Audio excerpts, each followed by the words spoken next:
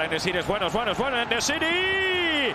Ocampos como bloqueado Juan Foy, pero antes me parece que ha metido un paradón Jorgensen espectacular. Sigue en efervescencia el